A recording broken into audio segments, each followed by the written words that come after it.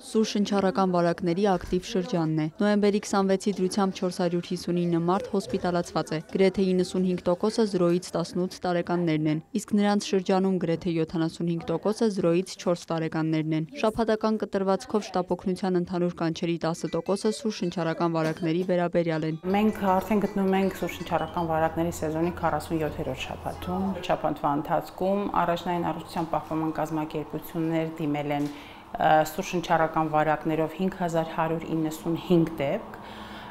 որը նախորդ շաբաթվա 4649-ի համեմատ աճել է 1.1 անգամ, նախորդ տարվա միևնույն ժամանակահատվածի համեմատ եւս բարձր է 1.1 անգամ։ Նոյեմբերի 26-ի դրությամբ վերակենդանացման բաժանմունքում բուժում է ստանում 16 երեխա։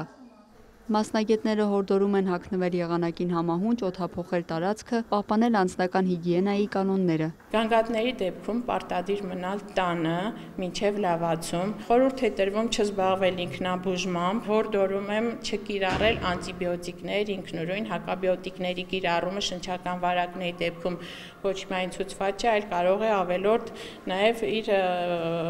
վնասակար հետևանքները թողնել։ Սուրշնչառական վարակների ախտանշանները բազմազան են՝ քթահոսություն, կոկորդի ցավ, աչքերի բորբոքում, ջերմության բարձրացում, մկանացավեր, հոդացավեր,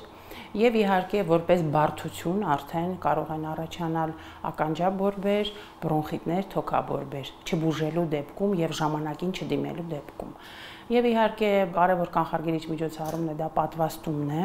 Մասնագետներն ասում են, կոնկրետ գրիպի դեմ կանխարգելման լավագույն միջոցը պատվաստումն է, որը առաջնահերթ ռիսկի խմբերին է ցուցված։ Դրանք են 65 տարեկանից բարձր քաղաքացիները, մինչև 65 տարեկան քրոնիկ հիվանդները, մինչև 5 տարեկան երեխաները, հղիները, բուժաշխատողները, զորակոչիկները։ Իհարկե գրիպի պատվաստումը չի կանխարգելում բոլոր տիպի շնչառական վարակները։ Տիգրան մեծ առողջության կենտրոնում սեպտեմբերի կեսից սկսվել է սեզոնային գրիպի դեմ պատվաստումը, եւ մինչ օրս այստեղ մոտ 1700 բուժառու է ստացել գրիպի դեմ պատվաստում։ Լիանա Խաչատուրյան, Ժիրայր Հաբետյան, լուրեր։